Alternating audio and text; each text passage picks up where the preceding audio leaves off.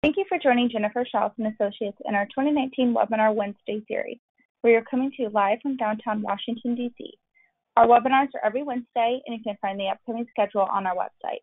Past webinars and all recordings are also on our website and on our YouTube channel, along with over 160 other recordings on federal contracting topics. All are complimentary. If you have questions for our speaker today, you can email her directly with the contact information you'll see on the last slide. Right, this is just a little bit about us. We are a Washington, D.C. based firm and provide services for federal contractors. This ranges from market analysis reports to proposal writing and also post-award compliance. More information is on our website, so please visit us there. We do offer advertising, so you can email me if you want more information on that. Um, and our webinar today is sponsored by AccuTrack. Here's a short message from them. AccuTrack Consulting and Accounting Services is an 8A WOSB CPA firm committed to supporting entities sustain growth in government contracting. Our outstanding DCAA accounting solutions reduce audit risk, improve cash flows, and give you peace of mind. Contact us today to learn how we can enhance your DCAA accounting efforts. All right, let's go ahead and get started. Our speaker today is Judy Bradt, and she's going to be covering how to win your meeting with your federal buyer and get invited back. Uh, Judy, thank you for joining us, and I'm going to go ahead and hand it over to you. Thank you so much. It is great to be here. So, who wants to win more? I'll bet you all do. Next slide.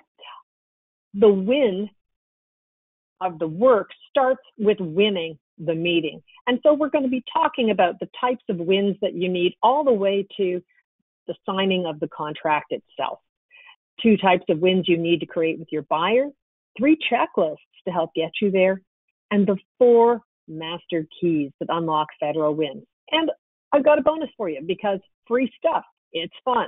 Next slide. So get out your notebook. We're going to do some work here today. All right. Next slide. What kind of wins do you need to create with your buyer? Next slide. Well, there's two types of wins right out of the box. The second most important is to win their attention. That's what it means you've got to do in order to get the meeting in the first place. The first kind of attention that you need is to win more engagement, to get invited back.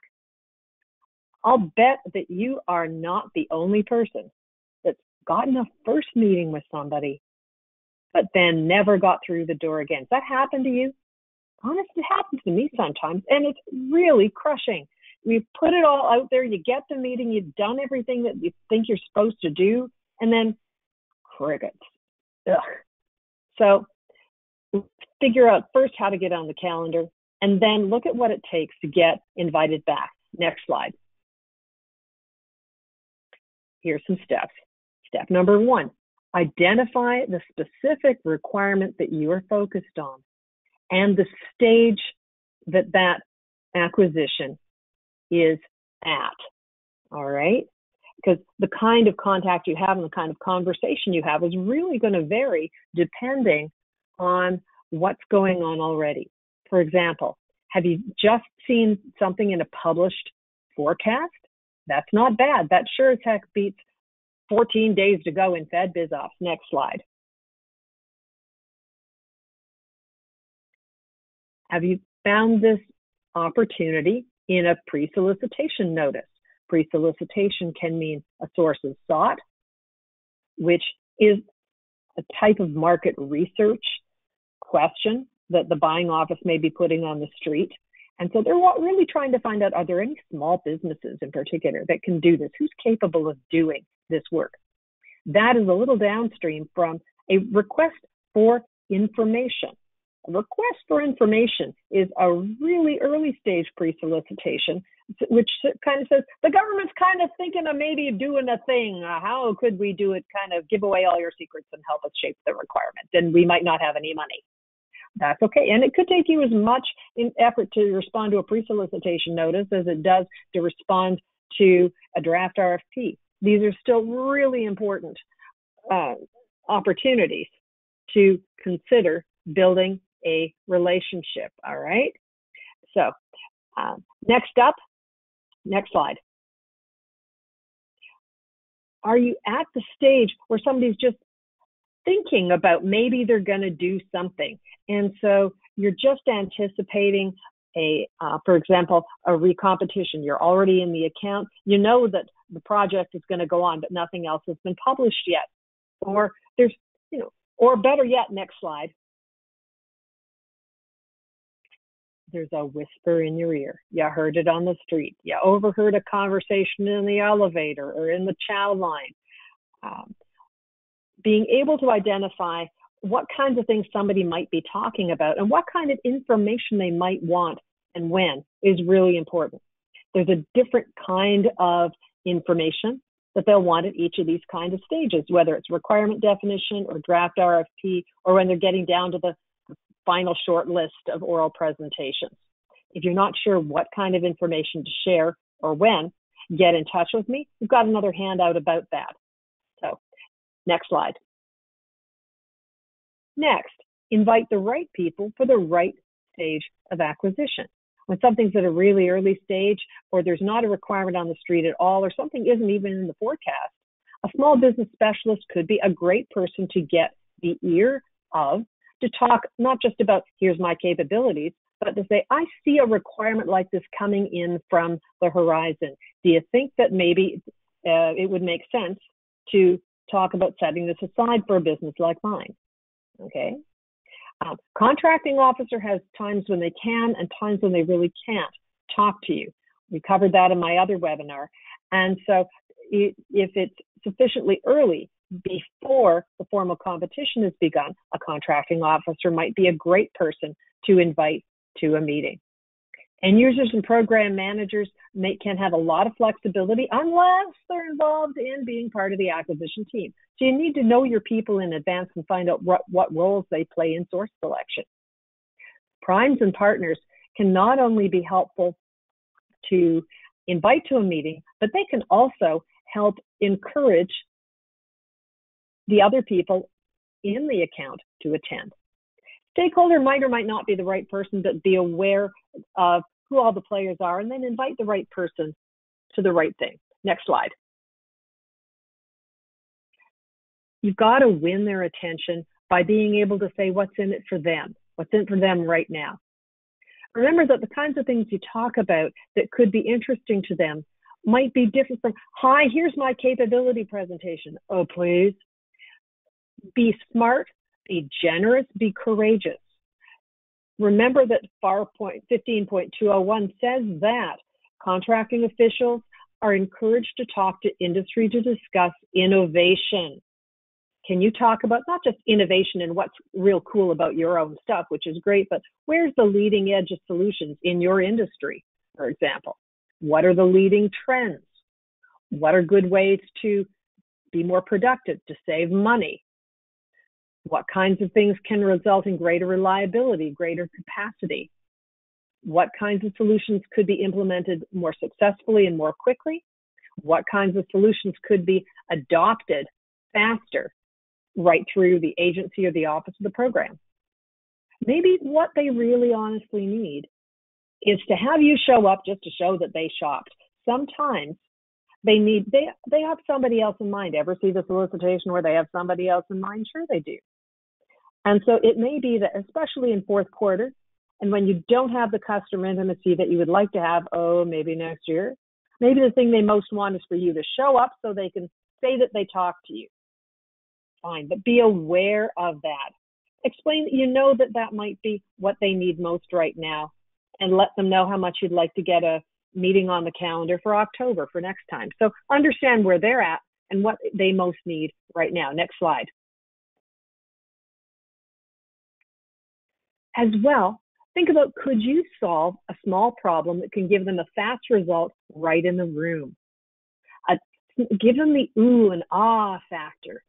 What could you do to do a, a quick demonstration or a, or show them a small case study? But come up with a really practical idea or situation that you could work through that would be directly relevant to the situation and problems and challenges in that agency especially, especially valuable if you have professional services. And I do a lot of work with companies with professional services.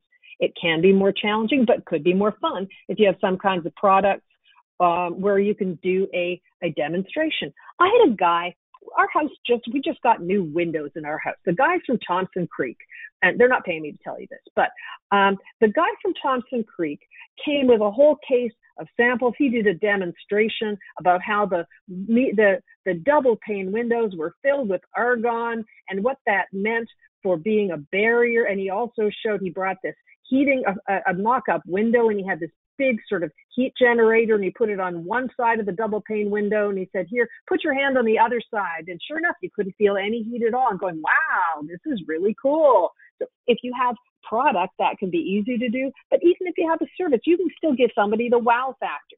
Did we buy from thompson creek? We actually did. And he because in part because he was thorough he demonstrated he offered um, an opportunity to save if I were able to make a commitment right then. And he was also very respectful and not pushy all at the same time. He respected my what my needs and my time commitment and gave me a chance to make a decision right away. How cool was that? Next slide. Finally, you need to get on their calendar. Make sure you ask with lots of lead time gee, it's time. It's it's now um, almost middle of August. Great. Um, you're hoping to get something on the calendar in the next two weeks. Um, maybe, but maybe not. By the time you get to mid-September, they're going to be busy doing closeouts and moving money around. I'm not saying all is lost, but you really want to give folks a lot of lead time when you're trying to get in their calendars. Pick the right time of year for the right topic if you think that you've waited till fourth quarter and you really want to win a couple of million dollar projects and they don't know you and they've never heard of you, um, you might want to have a different objective for your meeting. On the other hand, having a small offer, something that they could try, or something that you know they're working on at this time of year, great. Multiple touch points can reach your key players. This is where having partners um, oh, either it's a prime or somebody else who's offering a complementary product or service and is already in the agency and can also reach out to your points of contact in the agency and say, hey, these folks are really great. I love working with them. I want to encourage you to come. Um, they've offered me a seat. Will you come? Have internal and external proponents or really almost broadly speaking sponsors. And ask your agency contact, hey, who else should we invite? Here's our list. When they say yes, build anticipation, send a confirmation, send a little bit of advance information, talk to your agency contacts about your internal outreach strategy to maximize attendance. Next slide.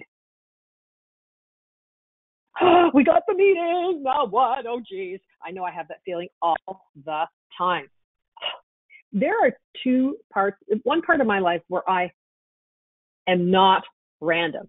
I may seem like an organized person, but really, sometimes you've got a lot on the line. You do not want to miss a trick. Next slide. The part of my life where I absolutely use a checklist is when I fly an airplane. I'm a pilot. A checklist lets me fly with confidence. Did you know that pilots have multiple checklists? There's a pre flight checklist, all the things that you check out even before you get off the ground. There's a run up checklist. So I know that when I get to the nice happy stripe in the middle of the runway and I put the throttles to the wall, I know I've already done everything. I'm not going, oh, did I forget that? No, I already know. I'm set. I'm confident. There's a takeoff checklist. You know how fast you're going and when it's really time to pull back the yoke and commit lift. You have a couple of in-flight checklists so you can reset everything for cruise. You've got a landing checklist. You've got a shutdown checklist. Oh yeah, and then there's a checklist with a big red stripe and not very many things on it for in case of uh oh. So you need to have those kinds of checklists because then you don't miss things. You can proceed with confidence. You're not panicked. You've maximized the amount of space in your brain for what happens if. Next slide. That's what you want to do as well when you are preparing for your meeting. You want a pre-meeting checklist. You want a call day checklist. You want a follow-up checklist just in the same way as you should never cruise the internet looking for proposal templates because there's not going to be one that's going to be just perfect for you. Remember that your tech, your checklists for your meetings are going to be unique. So I'm going to give you some ideas to start with, but remember, rely on, get the benefit from what your own experience has taught you. Next slide. Looking for ideas? Next slide. All right. Here's a starting list for pre-meeting checklist. Location and facility. You're clearing this with your contact inside the agency or you're finding out whether or not the location that you have in mind, if you're going to have people off site, is going to work for your folks. Is it close enough? Can they get there? Remember, if it's in the Washington, D.C. area, which they're not always, allow for lots of traffic, allow for allow for parking. See if you can prepay their parking or something like that if they're not going to be if the presentation is not going to be in the agency itself. If it is going to be in the agency itself, you want to check out the security procedures, make sure that everybody that is going to be attending has the appropriate clearances. Find out what kind of equipment and media you can bring on site. Some folks don't let you bring your portable devices. Some folks don't let you bring or want you to be handing out uh, thumb drives. Some folks have limitations on what kind of equipment you can bring in. Find all that stuff out from your key point of contact inside the agency develop the, the agenda cooperatively with your sponsors. Don't just say, thanks for the meeting. Okay, here's what we're going to talk about. You want to get their buy-in all along. Find out what kinds of handouts, if any, might be appropriate. Maybe something that's designed to let them take notes on. So they're really, again, actively involved, physically taking notes as you go along. For goodness sake, rehearse. This is really something I have a hard time with. I actually sat down and rehearsed this webinar because I wanted to make sure it got done in exactly the amount of time necessary. And this was set for a pure broadcast webinar. There's something that's completely different about doing it in person. I'm going to share that with you in a second. That's absolutely essential that you need to know. For goodness sake, make sure there's at least two of you, somebody that's taking notes as well as the person that's speaking. Humans are, like back in the telecom age, they used to call uh, um, it's not duplex, it's really single. You can only transmit or receive at once. You can't talk and listen at the same time. All right. So make sure you've got a note taker. Have specific goals for your meeting and have some backup plans in case something goes wrong. All right. Those are some starting points for a pre-meeting checklist. Next slide. Meeting day checklist. Final checks, how you're going to get there. Check out all, all of your technology, your projectors, your computers, have backup equipment, and check in with your point of contact. Make sure they know that your list is clear who's coming from your side. If you're, especially if you are in a remote location, something offsite, you've traveled somewhere, you might want to go in two separate cars. Arrive in plenty of time to clear security, lots and lots of time. If you're in the Washington, D.C. area, this is not news. There's going to be traffic. Be ready for that. There's nothing wrong with arriving a full half an hour ahead of time. That sure beats getting it in at the last minute, which is not going to go well for anybody. And it doesn't improve somebody's impression of you as a reliable human. Reliability, trust is built one small interaction at a time, and showing up in advance is a very easy way to boost trust and confidence at every point in the relationship, not just when the relationship is new.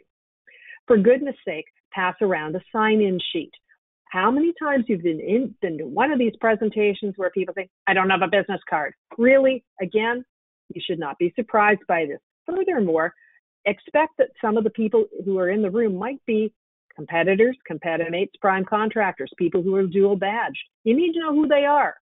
Have to sign in before you start. Then use your 600 second presentation. Remember to allow about 60% of your time for questions and discussion. And, you know, however it is that you do it, whatever your personal routines are, relax. Remember, you're not pitching to a machine, you're not selling to a government, you're building relationships with real human beings. No matter what time of year, and especially in the fourth quarter, they're under so much stress. You're incredibly lucky to have them in the room at all. Be grateful and have a little empathy. I really struggle with empathy. I find it really hard to do the put yourself in somebody else's shoes. The time that you spend, even if you spend half an hour, 20 minutes, thinking, who is this person? What's going on with them right now? What's happening with them and their work? What do you know them well enough to know what's happening with them and their family? Are they just going on vacation? Are they just coming back from vacation? Are they up for a promotion? Get a sense of what's on the line for them. Connect with them as real human beings. Take your time, really watch facial expressions, but really care about who they are and what's up with them. Next slide. Wait a second, what was that 600 seconds? You said to slash our presentation to 600 seconds? Actually, no.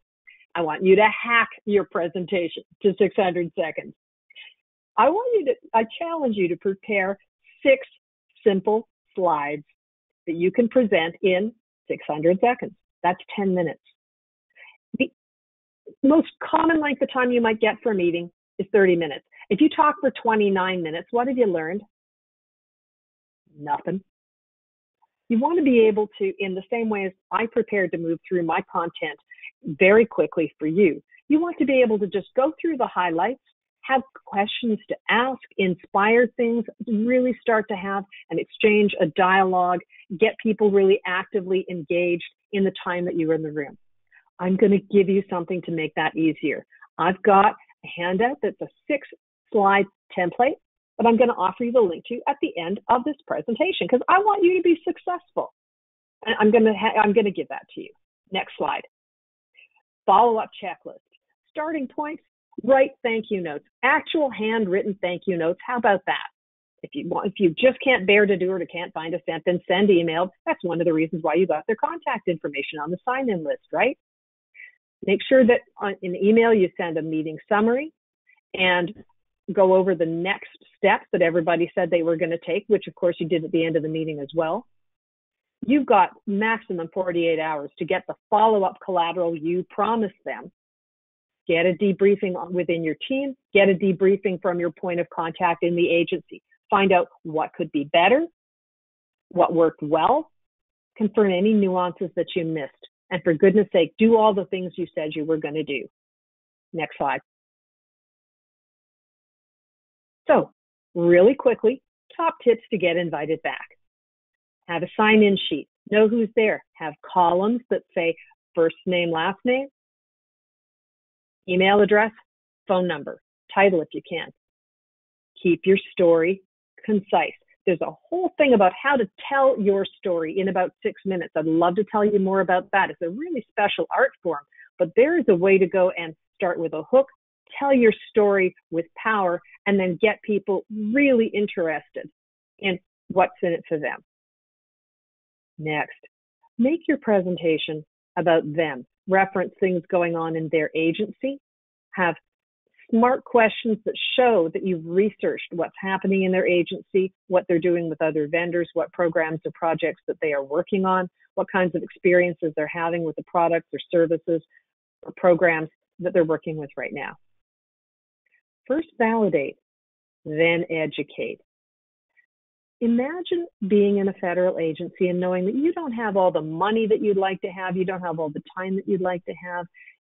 You know that you don't have big corporate budgets, so you're probably not the way you're doing things, you know it could be better. Show up already aware of how it is that they're doing things validate them. Say, wow, you are doing the most amazing job with DOS 3.0. I have can have not never seen an agency run an entire contact management system on that. You are really keeping it alive. That's impressive. Hey, here's some ideas for some ways that organizations of your size and scope with similar folks you're trying to reach have made a transition that's been feasible and workable to come up to speed and do even better, that kind of thing. So first validate, then educate. People have got to feel safe so they'll start to talk to you about the journey you want to take them on. For goodness sake, bring quantifiable case studies with you from similar clients. Not only an organization that has a similar mission, but has a similar size and scale and scope of operation. There's nothing that knocks down objections faster and increases your credibility more solidly than showing you've already done it. It ain't bragging if you've already done it. Show them a fast result, give them a demonstration, ask for a sample problem, solve it right before their eyes. You do this all the time. You're really good at what you do. Take it out for a run. Show your stuff. Write your thank you notes. Do your follow up. Next slide. There are four master keys that open federal contract wins. And here they are. First, Define and identify the specific buyer, specific humans who need what you do, who buy what you do. Get to know everything about them and prepare for what they might be thinking, what problems they might have when you show up in front of them. Have smart questions that show that you've researched their current situation and all the public information they have published in so many different places about their agency and what's going on. In my other presentation, we've got six different sources that you can use. Find out everything you can. Be like a detective when you show up and when you're trying to define each specific buyer. You should have a profile that you're writing up, that you're creating. In addition to any databases you may be using, there's intelligence only you have about the specific humans that you want in the room. Second, know what to do, what to say, what to ask, when to do it. That's going to be different for each federal human, each person in a specific job, and each different stage of the acquisition process. Third, you need to systematize the processes, the actions that you're taking, so that you're doing more of the right things at the right time and having predictable success. Great, you won once. Did you know what you did right? Systematize your processes so you're not trying to make things up all the time. And finally, have a plan and system set up, workflow defined so you can take rapid, consistent action to build engagement. These are the most important things I work on with my clients. The clients that, do the work are successful. Next slide. Back to the thing I promised you. Wondering how can I build the perfect presentation? What can I say in 600 seconds? I have a complimentary handout for you. Six simple slides, the perfect federal capability presentation template. It's waiting for you at growfedbiz.com slash capability dash presentation dash template. That's growfedbiz.com slash capability dash presentation dash template. I want you to be successful. My book, Government Contracts Made Easier, is called Easier because easy is fiction. Easier we can do. That's what we're all about here at Summit Insight. I would love to chat with you. Let's make that happen. Next slide, please. Give me a call at 703 627 1074. I would love to chat with you. We can book some time. Nothing would make me happier. I'm delighted to have had the chance to spend this time with you. So remember, get in front of your buyers, win their attention by getting in their meeting, do the right things to engage and get invited back, and use the template. Grab the handout, give me a call, let me know how I can help you back to you. Thank you so much, Judy, for sharing your knowledge and insight today. Uh, today's presentation has been recorded and can be found on YouTube or on our website within about 48 hours. Thank you, everybody, for listening, and this concludes the webinar.